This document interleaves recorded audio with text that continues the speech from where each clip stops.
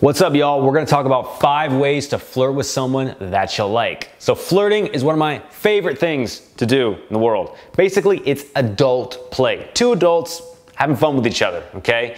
You're saying words back and forth, you're smiling, you're having a good time. Basically, you're showing interest but not being too serious about it. So, one of the ways that you can use this is to see if somebody's interested in you, see if they're willing to play back. A lot of people, if you do this right, should be having a great time. And also, what you can do to use flirting is you can make somebody, if you do it right, you have good game as we like to call it, then if you flirt with somebody in the right way, you can actually make them more attracted to you, okay? Or you can unleash the, the, the inner attractiveness with, within that person, okay?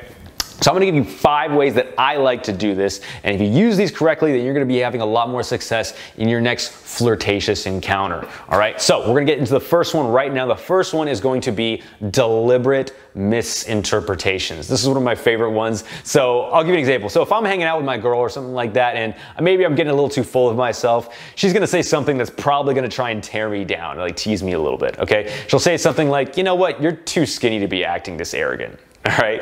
And I'll say, thank you. Basically, she wasn't saying it as a compliment, but I interpret it as a compliment. This is one of my favorite things to do. If you pull this off in the right way, it comes off as a little bit cocky, but a little bit funny as well too, and uh, everybody can have a good time with it. So, like deliberate misinterpretations is one of my favorites. Number two is going to be playful assumptions. This is probably the one that I use the most. Playful assumptions is where you assume something about somebody, maybe you notice something about them, um, and then you're like pointing it out a little bit. Okay, so if I notice that that, um, what's that good way of putting it? One of my favorite ways of saying this is maybe they'll do something and I'll be like, oh, you would do that. or you would say that. Do not make this something negative. Okay, this is where you have to assume the positive things about somebody. And sometimes they might be like, well, why, why do you assume that? And then you want to go into a, an explanation about it that's going to lift them up rather than tear them down.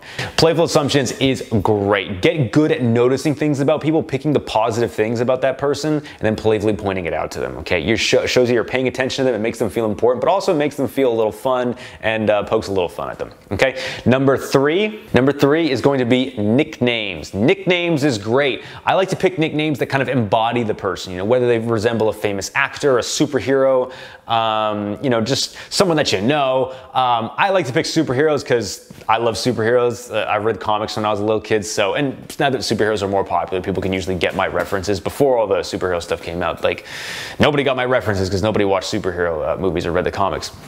So uh, I really, really like that. Also, you can pick someone that's like, pick someone that might be unique or maybe someone notices something about that person that you know you has never been called out before.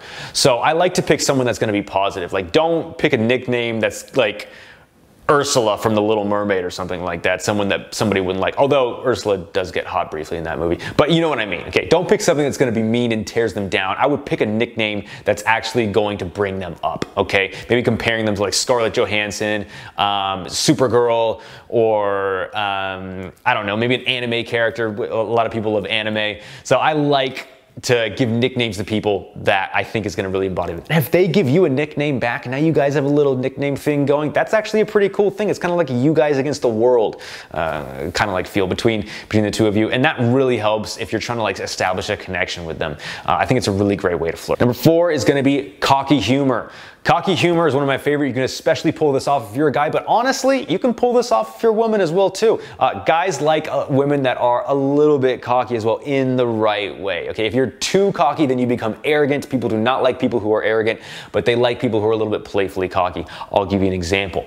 Um, my, you know, if I'm out with a girl that I'm seeing and she's having trouble opening uh, you know, a bottle or something like that. I might take it from her, open the bottle, and then just like flex a little bit while I do it.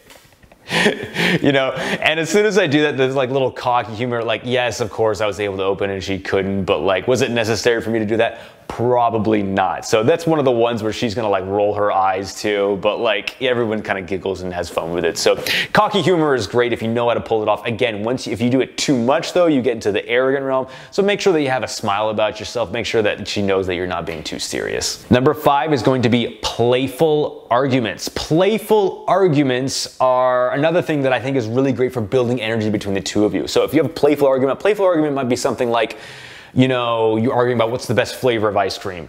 Um, how bad did the eighth season of Game of Thrones suck? You know, things like that, things that don't really matter in life, but you can have some playful energy between the two of you. If you've noticed, when it comes to flirting, people like to tease each other. People like to, you know, give poke the bear, so to speak, a little bit. And this allows you to kind of have that playful energy, that competitive energy between the two of you, which is really good for building sexual tension.